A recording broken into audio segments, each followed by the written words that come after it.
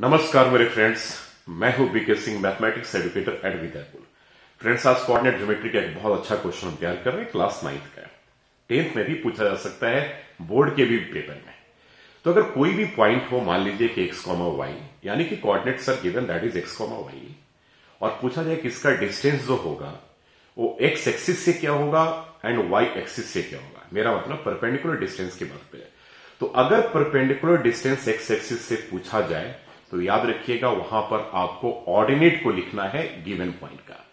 और अगर perpendicular distance x axis से पूछा जाए तो ऑर्डिनेट अगर वाई एक्सिस से पूछा जाए तो आप मेरे बच्चे एफ़ सीसा को लिखेंगे। मान लीजिए कोई एक पॉइंट है थ्री कॉमा फोर और इसका डिस्टेंस अगर एक्स एक्सिस से पूछा जा रहा है तो फोर यूनिट्स लिखेंगे, यानी कि ऑर्डिनेट को लिखेंगे।